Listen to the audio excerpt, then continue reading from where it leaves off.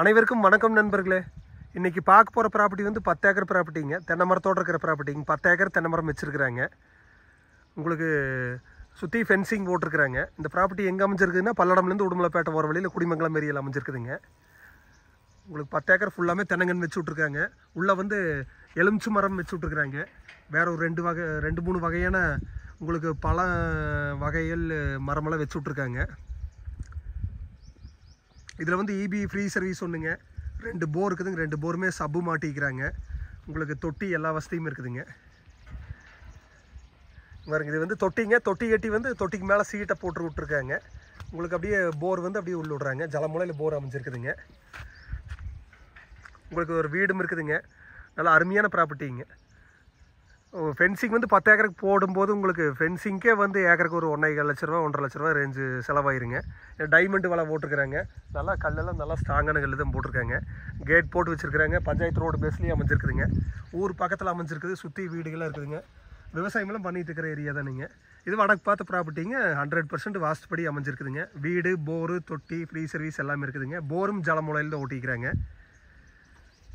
அருமையாக லேண்டுங்க இதோட ரேட்டு பார்த்தீங்கன்னா வந்து முப்பத்தஞ்சு லட்ச ரூபா சொல்கிறாங்க ஏக்கருங்க. பெருங்காடே வந்து ஏக்கரை இருபத்தஞ்சு முப்பது நாற்பதுன்னு சொல்லிட்டு இருக்கிறாங்க. இது எல்லா வசதியும் பண்ணி உங்களுக்கு தென்னங்கன்னெல்லாம் இருக்குதுங்க. இது வந்து ஏக்கரை முப்பத்தஞ்சு தான் சொல்கிறாங்க ரொம்ப ரொம்ப குறைஞ்ச பட்ஜெட்டில் இருக்கிற ப்ராப்பர்ட்டிங்க பத்து ஏக்கர் ப்ராப்பர்ட்டிங்க ஏக்கரை முப்பத்தஞ்சு சொல்கிறாங்க குறைச்சி பேசலாங்க.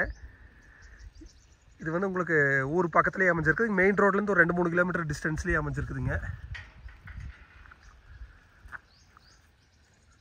இது தென்னங்கன்னெல்லாம் பார்த்தீங்கன்னா ஒரு ஒரு ஒன்றரை வருஷத்தில் காப்புக்கு வந்துருங்க. இது வந்து ஒரு ஏக்கருக்கு எழுபத்தஞ்சு மரம் விற்கலாங்க பத்து ஏக்கரும் போது கிட்டத்தட்ட ஒரு ஏழ்நூற்றம்பதுலேருந்து எட்நூறு மரம் வச்சுருப்பாங்க. உள்ளே எலுமிச்சம் செடியும் போட்டிருக்கிறாங்க.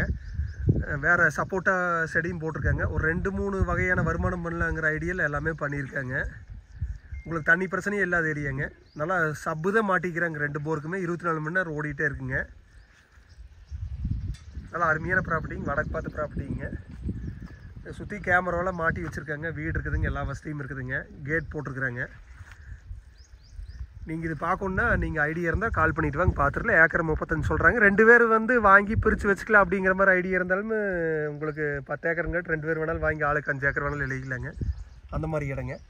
எல்லாமே பண்ணி வச்சுருக்குறாங்க. எல்லாம் ரெடி பண்ணிட்டாங்க. இதோட பலன் வந்து இன்னொரு ஒன்றரை வருஷத்தில் நம்ம அனுபவிக்கலாங்க வாங்கினாங்க. தென்னை மரம்லாம் நல்லா மெயின்டைன் பண்ணி ஒரு ஏக்கருக்கு ஒரு ஆயிரத்தி ஐநூறுரூவாய் வந்து ஆவரேஜாக வந்துட்டுருக்குங்க நாற்பத்தஞ்சு நாளைக்கு ஒருக்கா வெட்டுறாங்க.